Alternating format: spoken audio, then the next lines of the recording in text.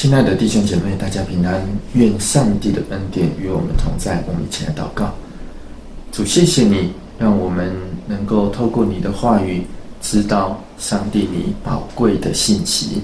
求上帝的祝福就临在我们当中。祷告奉靠主耶稣基督的名求，阿门。今天的经段是《菲利比书》第三章十二节到二十一节。这不是说我已经得着了。已经完全了，我乃是竭力追求，或者可以得着基督耶稣，所以得着我的弟兄们。我不是以为自己已经得着了，我只有一件事，就是忘忘记背后努力面前的，向着标标杆直跑，要得上帝在基督耶稣里从上面招我来得的奖赏。所以，我们中间凡是。完全人总要存这样的心，若在什么事上存别样的心，上帝也必以此指示你们。然而，我们到了什么地步，就当照着什么地步行。弟兄们，你们要一同效法我，也当留意看那些照我们榜样行的人，因为。有许多人行事是基督十字架的仇敌，我屡次告诉你们，现在又流泪地告诉你们，他们的结局就是沉沦，他们的神就是自己的杜甫，他们以自己的羞辱为荣耀，专以地上的事为念，我们却是天上的国民，并且等候救主。就是主耶稣基督从天上降临，他要按着那能叫万有归服自己的大能，将我们这卑贱的身体改变形状，和他自己荣耀的身体相似。亲爱的弟兄姐妹，我们今天所读到的这段经节，某一面也是保罗深切的盼望。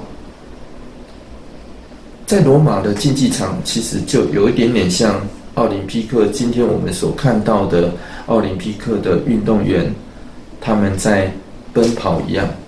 而在罗马的时代，其实他们就很习惯的有这样的锻炼。而当时候的锻炼，其实现在的比赛，当时候就有，而且非常的流行，各地。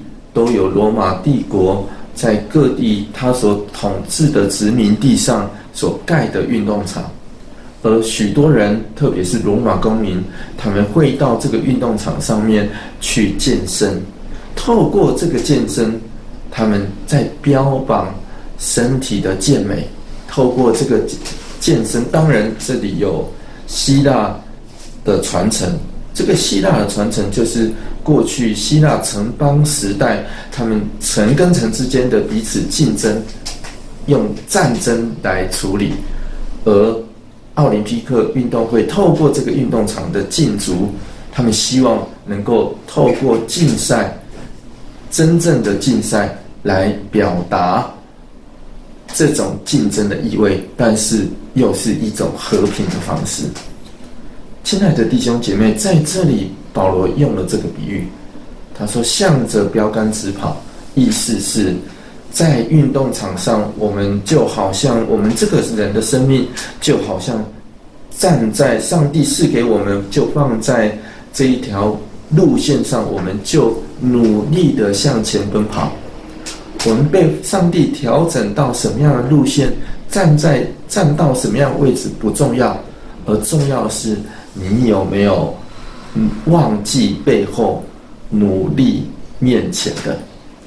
如果我们有忘记背后，努力面前，要得那上帝透过耶稣基督里面找我们而来的奖赏，只要奔跑到终点，我们都可以得到上帝所赐给我们的冠冕。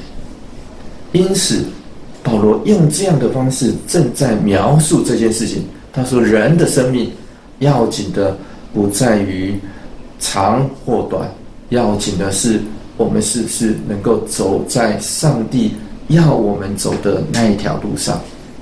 而如果是这样，如果是这样，那么即使我们面对未来即将会死亡的身体，那么上帝的全能透过耶稣基督，他会帮助我们，即使是死亡，那只不过是改变形状而已，而这个改变形状，会是跟耶稣基督荣耀的身体相似的。这正是保罗在面对他的死亡，以及他在告诉我们他所看到的盼望。亲爱的弟兄姐妹，生命会改变，我们如何改变我们的形貌呢？其实我们都不知道生命的终点在哪里，但是我们相信，特别基督徒相信一件事情：我们的生命在上帝主权里面。而要紧的是，我们怎么样奔走在上帝的主权、上帝的手中，那。才是最要紧的事情。愿上帝的恩典就与我们同在。我们一起来祷告。主，谢谢你，透过你的话语，我们知道我们的生命是怎么样活着，帮助我们的生命是走在你要我们走的那一条路上，让我们忘记背后而努力面前你要给我们的奖赏。求主的祝福就临在我们当中。祷告奉靠主耶稣基督的名求，阿门。